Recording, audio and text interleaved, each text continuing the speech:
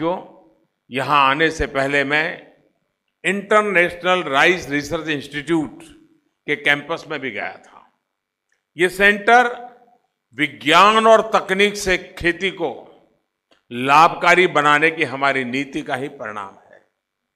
यहाँ भारत के लिए धान से जुड़ी उत्तम किस्मों, बीजों और दूसरी तकनीकों पर शोध तो होगा ही। एशिया और दुनिया के दूसरा देशों के लिए भी यहाँ समाधान तैयार होंगे।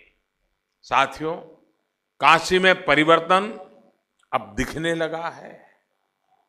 दिव्य काशी का स्वरूप अब और भव्य होता जा रहा है।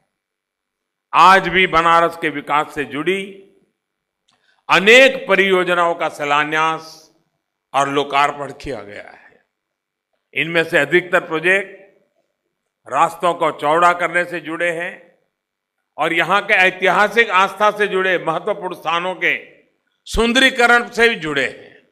ये सारे कार्य काशी की सुंदरता को और निखारने वाले हैं। काशी वासियों के, काशी आने जाने वालों के जीवन को आसान करने वाले हैं। कई ऐसे कार्यों को भी किया जा रहा है जिन पर स्वतंत्रता से पहले थोड़ा बहुत काम हुआ था। भाई और बहनों, सरकार का प्रयास है कि काशी की आत्मा से छेड़छाड़ किए बिना हमारा ये चीर पुरातन शहर नई काया के साथ दुनिया के सामने आए बाबा विश्वनाथ की असीम कृपा हम सभी पर रही है। हमारा ये कर्तव्य है कि जो काम माता अहल्याबाई होलकर ने करीब 200 वर्ष पूर्व किया था, उसको आज आगे बढ़ाने का हमें सौभाग्य मिला है। अनेक दशकों की उदासीनता के बाद बनारस के घाटों, यहाँ के मंदिरों के संरक्षण और सुंदरीकरण के कार्यों का आप जिस तरह समर्थन कर रहे हैं, उसके लिए मैं आपका काशीवासियों का हृदयपूर्वक आभार व्यक्त करता हूँ। यहाँ का सांसद होने के नाते मैं काशीवासियों के इस समर्थन से कृतज्ञ हूँ।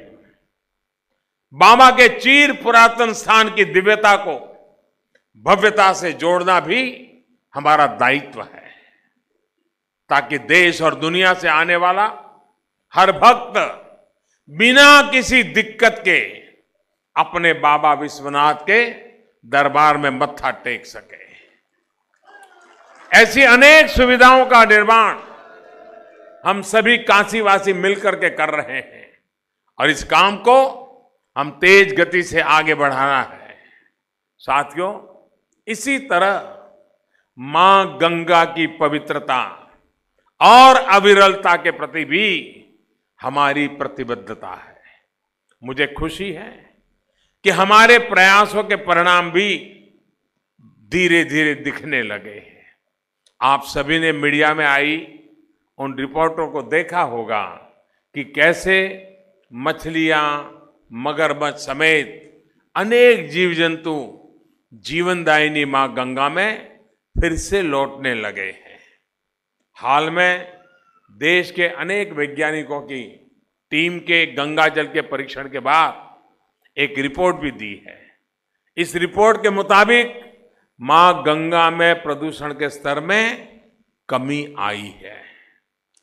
नमामि गंगे का अभियान जैसे जैसे आगे बढ़ रहा है वैसे वैसे निर्मल और अविरल गंगा का लक्ष्य नज़दीक दिख रहा है ये सब आप सभी काशीवासियों, गंगा के किनारे बसे हर व्यक्ति की इच्छा शक्ति और सहयोग से संभव हो पा रहा है।